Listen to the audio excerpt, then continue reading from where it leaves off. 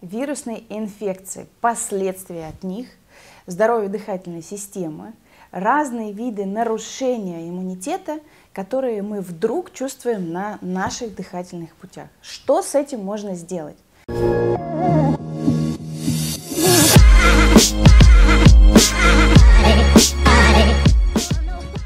Есть стандартные пути, когда мы приходим в аптеку и закупаемся всем подряд и понимаем, что это не работает. И читая внимательно список побочных эффектов, мы видим, что это может и усугубить проблему, и вызвать разные осложнения. Давайте предупреждать, если мы работаем с последствиями против ОРЗ, ОРВИ, давайте посмотрим на концентрированные природные источники. Что можно реально сделать без побочных эффектов, но самое главное, с правильным вложением в наш иммунитет и в наше комплексное здоровье, решая вопросы по симптоматике, чтобы мы дышали чисто, хорошо, без осложнений.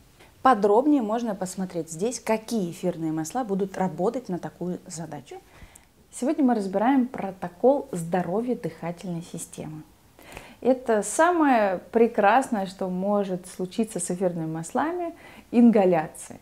Когда мы берем в руки бриз, одну каплю на ладони, дышим глубоко, или мяту, чайное дерево, любое камфорное масло, мы чувствуем глубокое проникновение в наши легкие, вплоть до нижних слоев альвеол. И даже по мяте можно почувствовать, как в кровоток заходит эфирное масло, тело становится легким, свежесть появляется. Это, конечно, очень быстрое воздействие на всю респираторную систему и работу вот с бронхолегочной системой.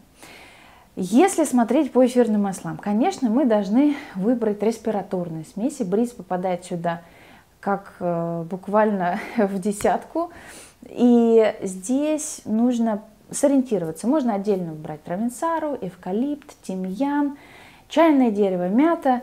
Ну, конечно, смеси работают лучше, как синергисты. Вы как минимум за одну ингаляцию производите очень много положительных эффектов на всю бронхолегочную систему. И как антисептик, и вывод воспалительных процессов, и снятие отечности. Поэтому миксы, да, работают хорошо. Более того, лавр, как э, самостоятельное эфирное масло, не так часто применяется, потому что на восприятие тяжелое, да даже если вы берете отдельный эвкалипт, его дышать все-таки э, в концентрированной форме может быть тяжеловато. Поэтому смеси лучше, раз.